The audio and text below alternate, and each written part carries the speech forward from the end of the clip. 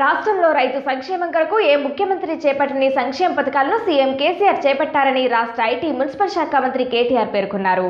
రాజన్న సిరిసిల్ల జిల్లాలోని బొప్పాపూర్ గ్రామంలో ఇరవై నాలుగు లక్షలతో నూతనంగా నిర్మించిన రైతు వేదిక భవనాన్ని ప్రారంభించారు.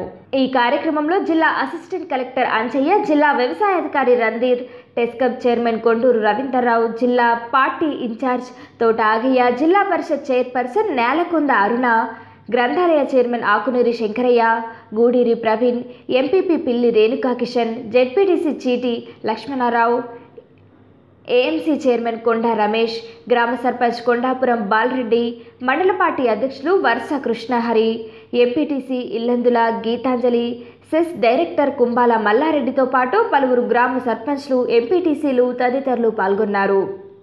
కావచ్చు వైకుంఠ ధామం కావచ్చు చెట్లు కావచ్చు ఇంటింటికి మంచినీళ్ళు కావచ్చు సంఘాల భవనాలు కావచ్చు రైతుల కోసం రైతు వేదికలు కావచ్చు ఇవన్నీ కూడా చేస్తున్నారని చెప్పి చాలా సంతోషంగా చెప్పినారు.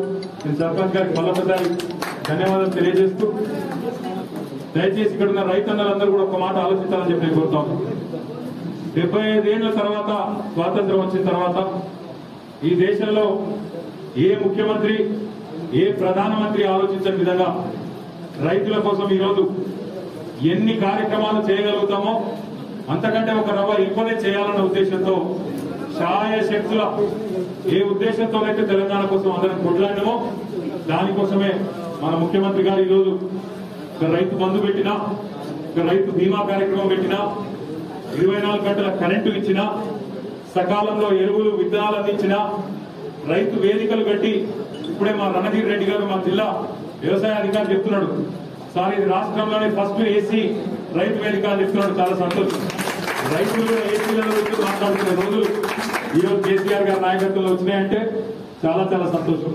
అంటే రైతు వేదికలు ఒకటి రెండు కాదు. ఆరు నెలల కాలంలో ఇరవై ఆరు వందల రైతు వేదికలు రాష్ట్ర వ్యాప్తంగా కట్టుకున్నాం. ఐదు వేల ఎకరాలకు ఒక చొప్పున వ్యవసాయ విస్తరణాధికారులను పెట్టుకున్నాం. పెట్టుకున్న తర్వాత ఈరోజు ఏ గుంటలో ఏ పంట పండుతున్నదో ప్రభుత్వం